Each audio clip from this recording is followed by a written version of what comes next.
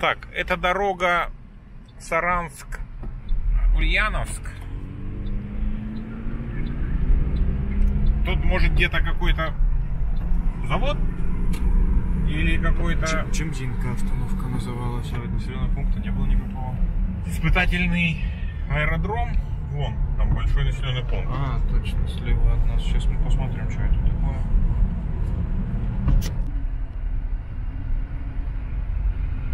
Дубенский район. Наверное, Дубов. Вот эти крестики во всех населенных пунктах они их делают.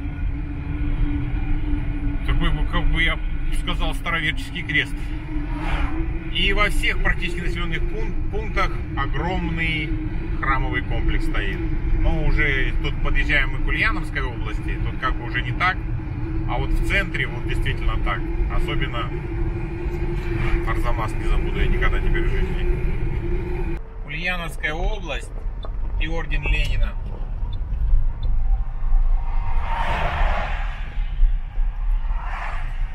Видишь, не дремлят враги. Нас обогнали. Мы так долго их обгоняли, но из Ульяновской области мы, короче, лоханулись по Польной. Хас, самый великий Река Сура. Да много речек мы не сняли. Кстати, неплохая, тоже красивая такая в этом стиле, вот средней полосы России. Монша была, которая рядом с Чебоксарами, или нет? Или это, нет, Мордовская республика, да. А это Сура.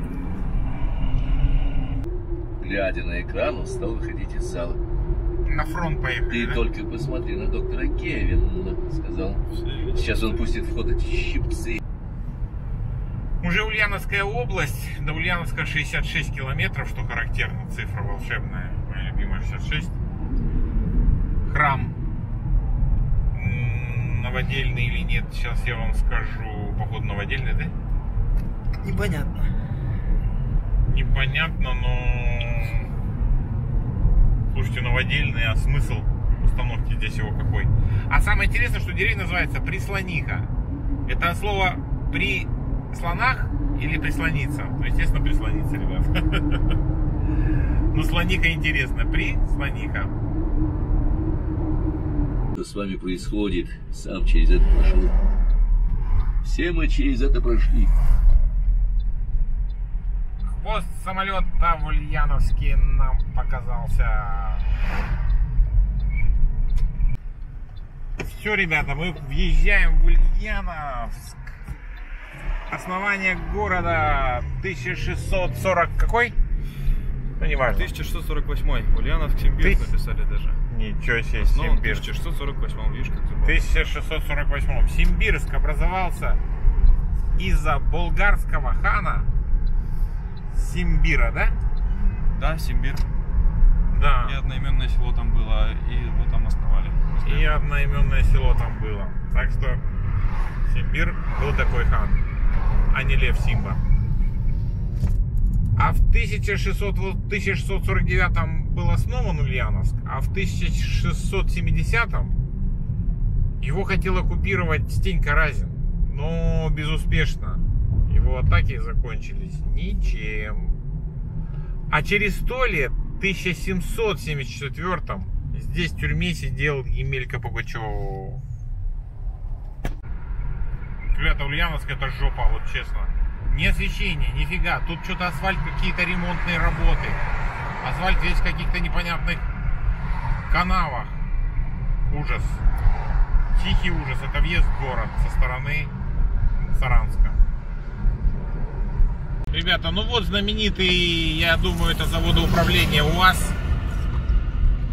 Поэтому, я думаю, даже мы к заводу и не поедем. Нам смысл время терять. Это желе- железяка, да, вот здесь. Ну, сейчас УАЗики, менты, извиняюсь за выражение, все на УАЗиках, гаишники на УАЗиках. Слава богу, скорая помощь перестала, по-моему, сейчас в последнее время УАЗиками пользоваться. Начали, по крайней мере, у нас в Казахстане начали давать им фирменные какие-то Volkswagen, Хендайки. Хундайки, да. Это радует. Не знаю, правда, как они снегу себя покажут, конечно, которого у нас снега бывает достаточно. Но вообще УАЗик, конечно, неприхотливый, проходимый автомобиль. Тут даже вопросов быть не может. Но я на нем бы не смог ездить, потому что там везде нужны руки. Это вот лично автомобиль не для меня.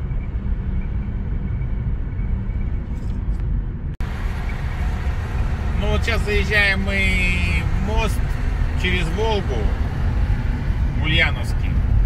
Ну, Ульяновск, естественно, знаменит чем? Вот этот человек родился, Владимир Ильич Ленин, который перевернул всю Россию с ног на голову или наоборот. И вся семейка его. Я не знаю, мы нас заставляли молиться, в школе мы молились на него. Единственное, уже где-то в 86-м, 88-м, когда Горбачев пришел, и тут начались скандалы, что только не началось, как он каких-то зайцев убил, вот это. В общем, я не знаю сейчас вообще. Это получается после этого просто никому ничего верить нельзя. Вот, вот такая схема, все. Больше я не знаю никаких схем. Когда одного человека обожествляли, а потом вообще его опустили ниже плинтуса. Но самое интересное, улицы Ленина везде остались, площади Ленина остались, памятники Ленину. О, вот, сними вот. Это я Осталось. подснял уже, да. А это то, что он, с чем он боролся, вот этот Владимир Ильич. Вот сколько было, зачем бороться-то было с попами, я вообще тогда не пойму. Я-то не понимал этого раньше, еще раз. У нас в Усть-Каменогорске просто не было никаких церквей. А здесь-то, оказывается, извините меня, в каждом населенном пункте. В каждом населенном пункте есть собор, храм, церковь. Но кроме, слава богу, Ленина, здесь еще жил Карамзин. Потом здесь жил Курчатов, а Курчатов от нашего Усть-Каменогорска на расстоянии где-то 100 с чем-то километров есть город Курчатов. Ну, естественно, это печально известный атомный полигон. Ну, как бы он печальный или не печальный, но тем не менее паритет-то в мире благодаря этому, ну, не изобретению, наверное, а в основную, конечно, тырили там. Ну, как тырили? Сами ученые понимали, что нельзя, чтобы атомная бомба была в одних руках. А слава богу, они это понимали и, естественно, передавали схему производства ее нашей разведки. Ну, а Курчатов, естественно, там уже додумывал. Само собой, это надо было все соединить в одно целое. Это не так просто. Отдавали-то кусками. Попробуйте куски, из кусков скроить потом целое. Поэтому великий был ученый. Да, он одно время здесь жил. И соборов, конечно, хватает. Я не знаю, как Владимир Ильич тут пожил. И после этого еще умудрялся он вешать, расстреливать попов. Это, конечно, жестко.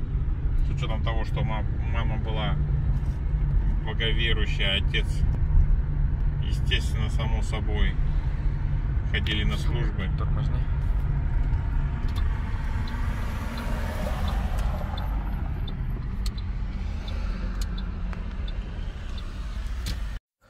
Всех еще раз с новым наступившим годом Тигра. Всем всего самого наилучшего. Это набережная Ульяновска. Здесь молодежь из автомобиля включили замечательную молодежную музыку, которая мне не очень нравится, но в наше время товарищи уже уходят, как я понимаю. Наступает время молодых. Мы надеемся, что у них хватит мудрости, чтобы сделать лучше эту планету. Потому что Пельч такой есть, он сказал, мы рождены на этой планете, чтобы сделать ее лучше. Центральный банк России. Центробанк, который выдает лицензии остальным банкам периферийным или забирает лицензии. А если забирает лицензии, то у тех, которых, я не помню, какой там максимальный вклад, больше чем 700 тысяч, накрывается все медным тазом. Или полтора миллиона. Вот не буду вас обманывать. Было 700. Ну, в общем, по этим улицам ходил Владимир Ильич и вынашивал идею, как уничтожить в гражданской войне. Людей-то погибло больше, чем Великой Отечественной. От голода, от тифа, естественно, от войны, от самой, когда отец на брата, брат на... Ой, господи, не дай бог. Мне кажется, так делать было нельзя ни в коем случае. Оказывается, сейчас. А раньше-то, конечно, я был за Ленина горой. Ну, вот берег-то крутой действительно, на котором стоит Ульяновск, он же Симбирск. И выезд на мост, конкретный серпантин при серпантин. Я даже первый раз Правее в жизни. Ну вот сейчас мы должны выехать на мост, по идее.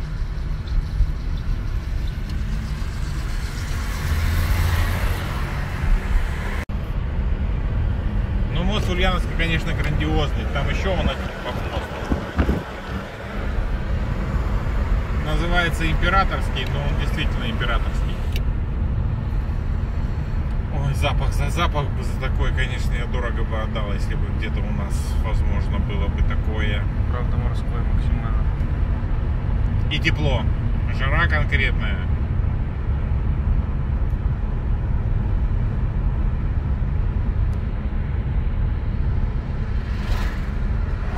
Товарищи, ну этот мост порядка 6 километров. А этот императорский, а рядом президентский. Тут еще длиннее. И хотя он построен в самом узком месте.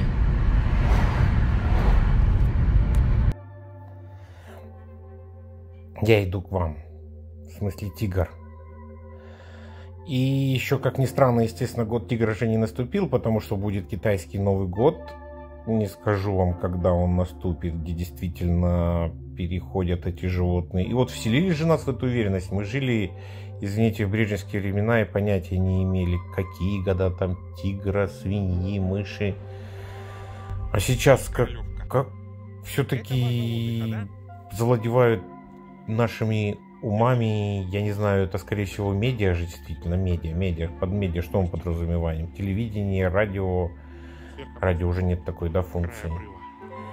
Э, И всякие другие сейчас, да, интернет-издания. И все, пожалуйста, люди все теперь верят в гороскопы, верят в эти года. Ну, может, действительно это и нужно делать для общего кругозора.